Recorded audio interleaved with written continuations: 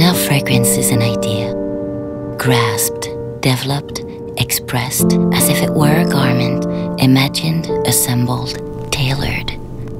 A Chanel fragrance is a precious fabric woven from images, spun from landscapes. A Chanel fragrance is a play of shadows and light, which unveils nudity, protects intimacy. A collection